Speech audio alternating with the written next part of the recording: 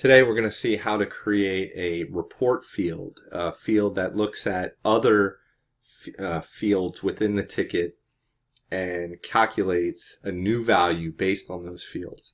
And we're going to use that, and we're going to do that today using power fields from cPrime uh, and the SIL simple issue language.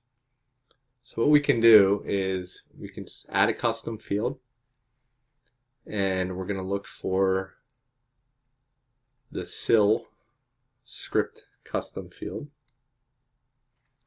And we'll call this um,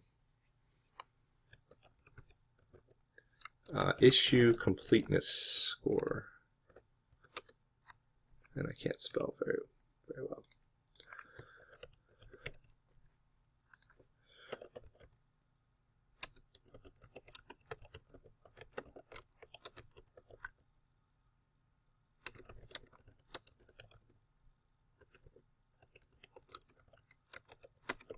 Okay.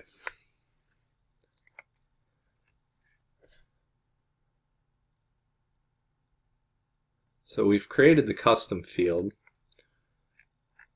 We're not going to add it to any tabs. This is more for reporting, not something that the user would ever be able to go in and enter any values into. But now we need to actually add a script. So we do that by configuring the field and then we can just edit SIL script right here in the configuration screen.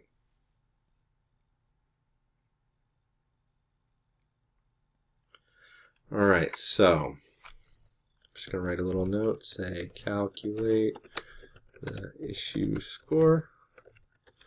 And we'll just say something, and um, I should mention that this, again, is already within the context of an issue because it is a field associated with an issue, so we don't have to specify which issue we're referring to. We can just say things like uh, if is um, not null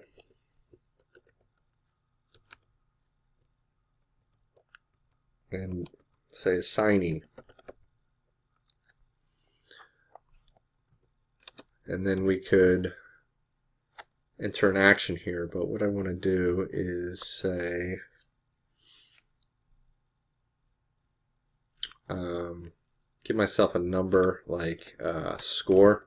Because if any of these are true we'll say it's good. If two are true we'll say it's better. If all three are true it's best. But we'll just do that with a score. Uh, so we'll say equals zero uh, score.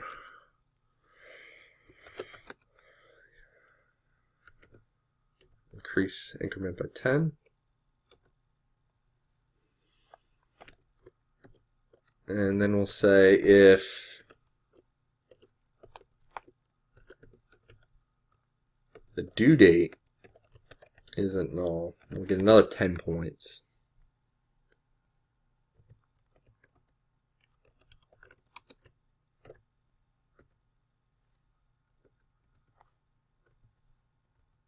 And then we'll say if the description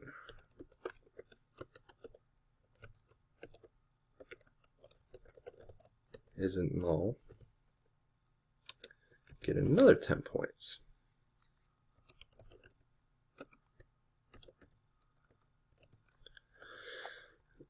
And then we can just say if uh, score is less than 10, we'll say return, and that's the keyword. This is what is going to show up in our field. Say bad. I was looking for a better word, but we can just say bad. You get the idea. Else, if score is greater than equal to 10 and score is less than 20.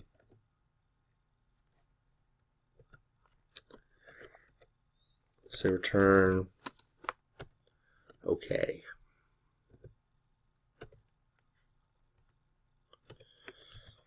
Else if score is greater than equal to 20, oops, and score is less than 30,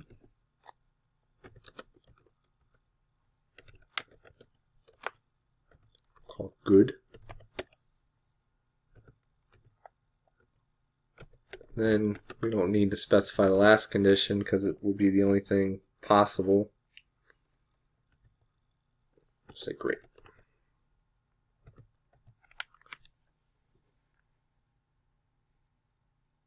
And check our code. Two errors found. Oh, I need to return great. Can't just say great. Looks good. So, let's see if it worked.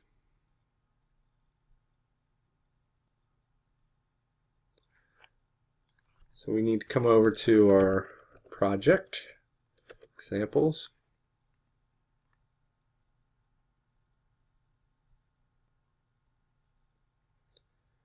And we'll add our custom field into our columns here. And, oh man, so far we're only doing okay. How did I even make it that far? I guess I have an assignee. So if I come in here,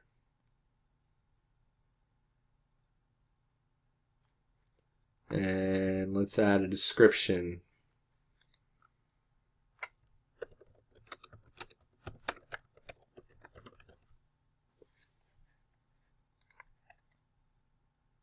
Okay. Oh, now we're good. Great.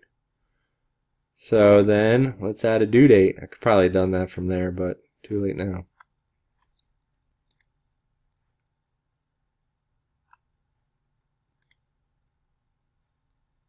Make it due tomorrow.